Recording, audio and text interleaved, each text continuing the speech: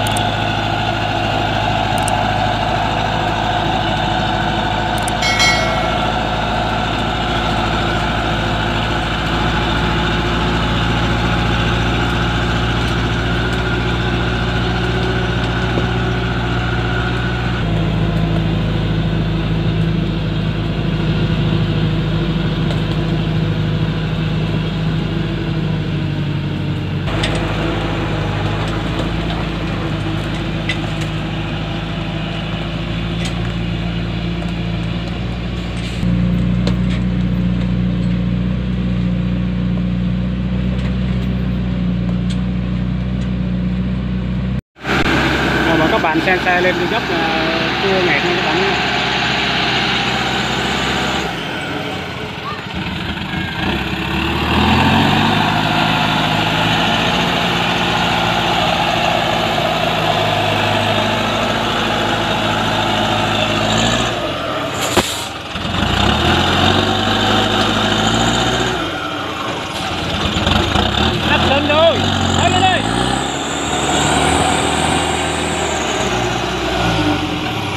xem rồi.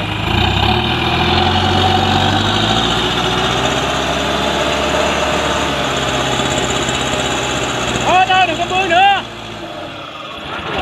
Đừng có... Bên kia sâu quá rồi kìa. Ở đó vô.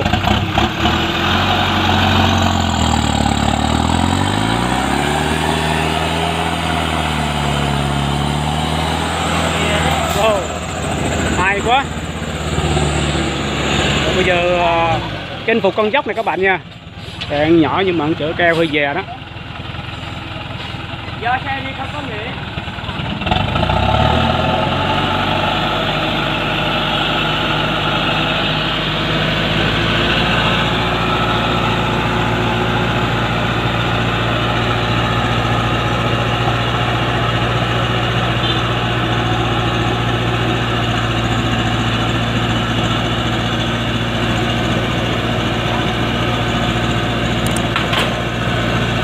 Hay lắm.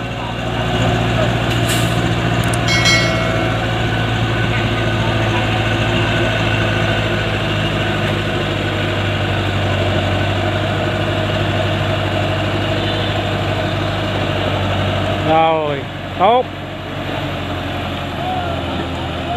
Woo. Anh phía trước thì rớt kìa.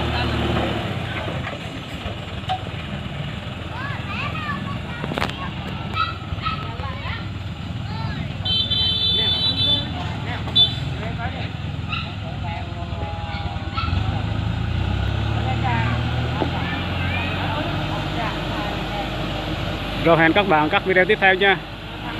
Như vậy xe đã qua con dốc này rồi. Hồi nãy mấy cái sình này. Xí sình mấy.